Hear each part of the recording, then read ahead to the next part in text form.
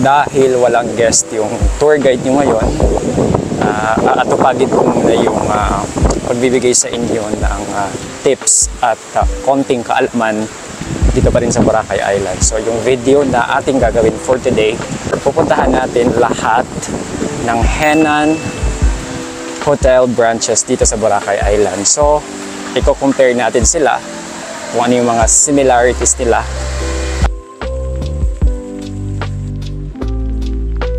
Dito tayo ngayon sa Henan Crystal Sands dito sa kanilang uh, main lobby entrance sa highway.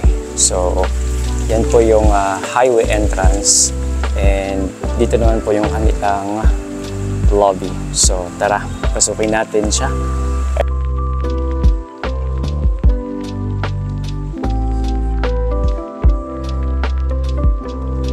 So pagpasok mo dito sa lobby ng Henan Crystal Sands, uh, bubungad agad sa inyo yung kanilang napakagandang chandelier, yung kanilang uh, napakagandang at napakabangong entrance. At yung kanilang mga upuan, yung furniture nila, yung kanilang mga front desk officers. Wow, super nice talaga dito. Dito na tayo sa loob ng uh, Henan Crystal Sands kung saan, kung mapapansin niyo yung Islanders, madaming uh, mga puno. And dito tayo. Akyat tayo dito. Mag-elevator na tayo. Ayan.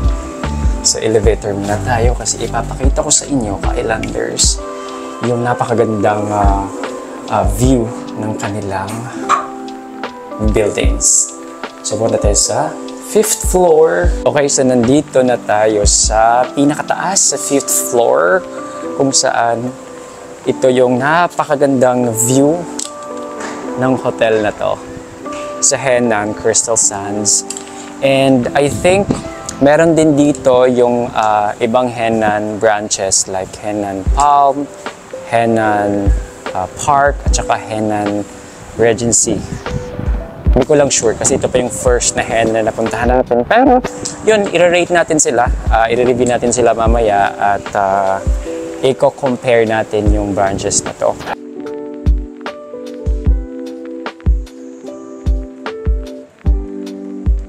Dadaan na tayo sa kanilang mahiwagang daan dito pa rin sa Heron Crystal. Makikita nyo Kyle Unders, very zigzag yung daanan na to. And then yung kaniyang uh, gilid ay pool. So di ba nakakamangha, uh, nakaka, nakakaganda talaga yung uh, henna na to, Highlanders. So, pupuntahan natin yung kanilang sky pool. So, dito po yung daanan papunta sa taas yung kanilang sky pool. So, nandito na tayo sa sky pool ng Henan Crystal Sands. Kung kaya't masasabi ko na ito yung isa sa pinakamagandang uh, view ng Henan branches dahil yung kanilang infinity pool ka Islanders is nasa beach. And meron din silang mini bar dyan sa ating likod, yung may tent, nasa swimming pool mismo. And uh, super ganda ng view.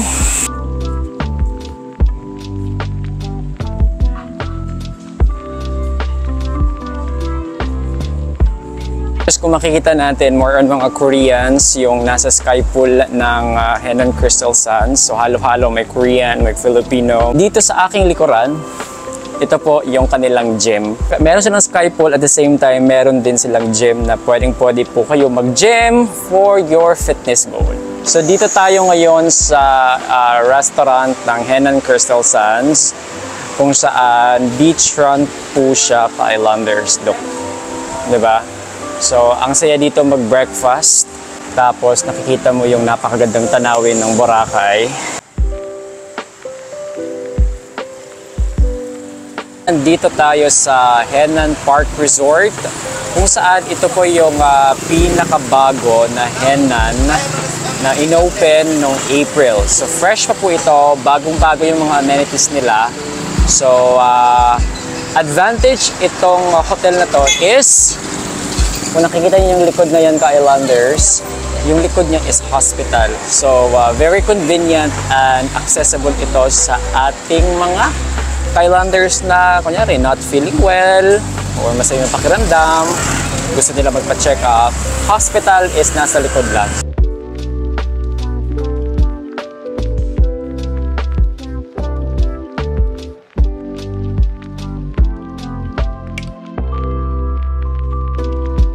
So dito tayo ngayon sa loob ng uh, Hena Park Resort Hotel dito pa rin sa Boracay Island.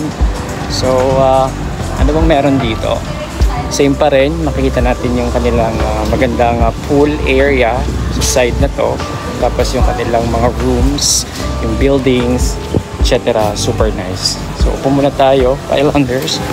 Kasi I deserve to sit here. Charing. Islanders, nandito tayo ngayon sa Henan Park Resort. And uh, masasabi ko na super nice itong uh, restaurant na to kasi pagpasok mo sa loob, ka-Islanders, bubungat agad sa inyo yung kanilang uh, very nice na ambience ng kanilang restaurant. Tapos sa labas naman, pwede kayo sa labas kasi meron sila mga table na overlooking sa kanilang uh, pool. So super nice talaga. I mean, this is for me one of the nicest uh, or highlights ng Henan Park Resort dito sa Boracay. Uh, ang disadvantage lang nitong Henan Park Resort is wala siyang or hindi siya beachfront. So meaning sa highway lang siya. Pero don't you worry ka Islanders kasi uh, from here dito sa hotel going to the beach mga 2 to 3 minutes lang naman yung lakaran or mga 1 minute makakarating na kayo sa sa beach kasi highway lang to eh.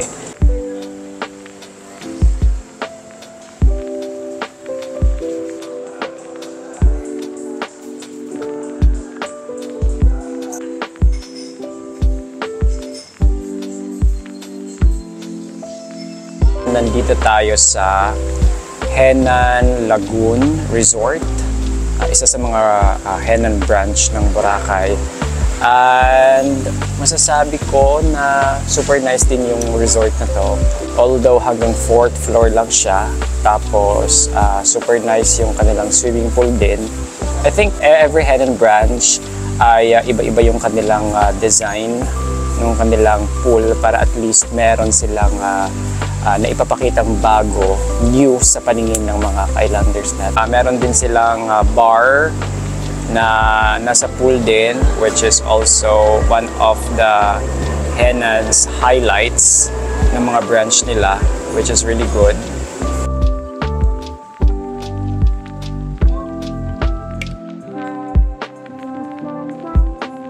Islanders, uh, nandito tayo ngayon sa Henan Palm Resort. Ito yung uh, ibang branches ng uh, Henan uh, hotels dito sa Boracay Island. So papasukin din natin to kung ano ba yung meron dito sa loob. So, ito po yung kanilang main entrance dito sa Henan Palm. And kapag papasok kayo dun sa loob, yan po yung kanilang uh, front desk. So dyan po kayo magtatanong, mag-check in at saka mag-check out. So yan, nakapasok na tayo sa Henan Palm Resort. Yung design naman ng uh, branch na to, Islanders, is hati siya. Kasi sa unahan, may swimming pool. And then, uh, sa pinakadulo, meron ding swimming pool. At doon din natin nakikita yung kanilang uh, infinity pool. Oh, nandito tayo sa infinity pool or sky pool ng Henan Palm Resort. Dito pa rin sa Boracay. And masasabi ko talaga na ang laki yung difference nila ng sky pool sa Henan Crystal Sands. Kasi I think dito sa Henan Palm, medyo maliit yung kanilang infinity pool compare sa Henan Crystal Sands. At saka uh, hindi rin siya medyo beach view. Meaning, hindi kapag nasa infinity pool ka, hindi siya, hindi mo makikita yung beach. So, all in all, maganda siya kasi meron siyang uh, may may bar na rin siya.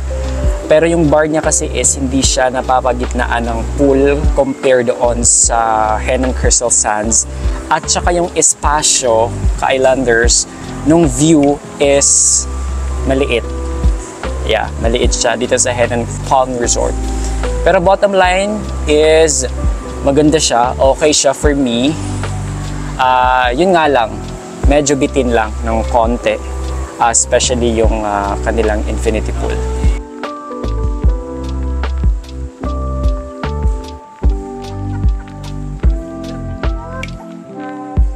Nandito tayo ngayon sa loob ng ah, Henan Regency, ah, isa pang branch ng ah, Henan Hotels dito sa Boracay. And nakita ko na meron silang similarity ng Henan Lagoon. Yung kanilang design, yung color, yung kanilang ah, bar, almost the same. Dito sa area na to, ito yung ah, beachfront nila sa Henan na Regency. Yan, beachfront po yan. Pagpapasok kayo dito. And then, dito naman, dito sa side na to, ito yung kanilang swimming pool area. So, meron silang dalawang swimming pool area actually ah, dito sa Henan. Dito sa side ng pool ng Henan Regency, napansin ko na compared doon sa side sa kabila ng ah, pool ng Henan Regency, medyo mas maliit itong pool dito, pool area dito. So, punta tayo dito sa East Wing pool area kasi meron pa oh. Nabasa ko lang. Ang dami namang pool dito. Saan yung pool? Yan ata yung pool nila. Alam mo, Kylanders, dapat kapag nandito ka sa Henan Regency, nagbabasa ka lagi kasi kapag hindi, naku dai, mawawala ka. Ang lawak pala dito. Ay, hindi ko alam kung saan ako pumunta kanina.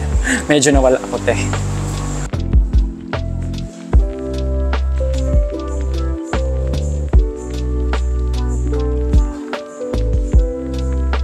So, Kylanders, dito na tayo sa loob ng Henan Garden Resort. And uh, unfortunately again, hindi tayo napagbigyan na mag-ocular ng rooms kasi fully booked sila. Grabe naman tong Henan na to. All, lahat kayo fully booked. First sa aking paglalakad dito uh, sa Henan Garden Resort, sobrang lawak pala ng area na to. Kapag papasukin mo talaga siya sa loob-looban, ang lawak at very peaceful siya kasi konti lang yung turista. And then aside from that, napansin ko is ah kung gusto mo ng mapag-isa, I think ito yung perfect na hotel for you. Pagpasok nyo sa Henan Garden or pagitan nyo pa lang sa labas, sa entrance, iisipin nyo na agad na ay ang liit. Ang liit, masikip, pero Diyos ko, kapag pupunta kayo dito sa loob, sa kaloob-looban, ay day, sobrang lawak at sobrang ganda talaga. I mean, very, ano siya, tahimik na lugar.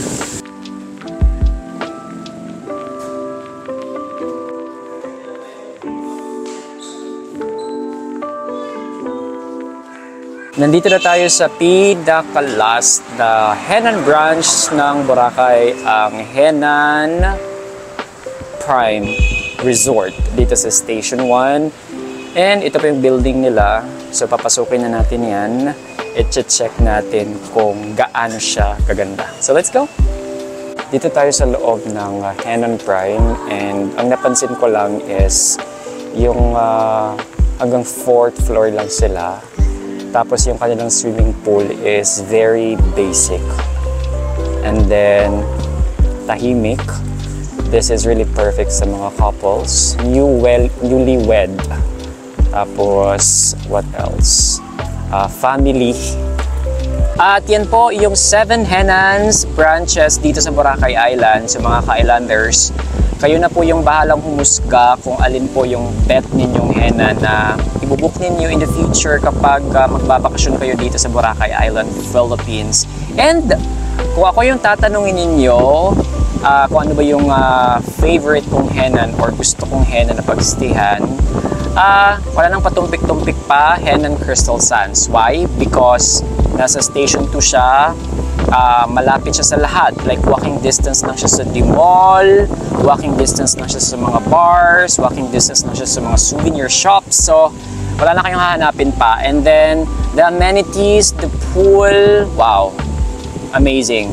I mean, nasabi ko na to sa previous vlog ko na ang Hidden Crystal Sands ay isa sa may pinakamagandang uh, infinity pool or sky pool dito sa Boracay Island. Kasi kung nakita niyo sa video ka Islanders, yung infinity pool ng Henan Crystal Sands, nasa beachfront talaga siya mismo. So sa mga Islanders natin na mahilig magpa-picture, mag-post sa kanilang mga social media, well, Henan is the perfect place for you to stay here in Boracay Island. And yun lang, sana ay meron ako nga na ibigay na naman na konting tips or kaalaman sa ating mga ka-islanders na pupunta dito sa Boracay Island in the future. At least guys, baka naman, don't forget to like and subscribe. Kung nag-enjoy kayo sa ating video for today, like and subscribe na. Please maawa na kayo sa akin.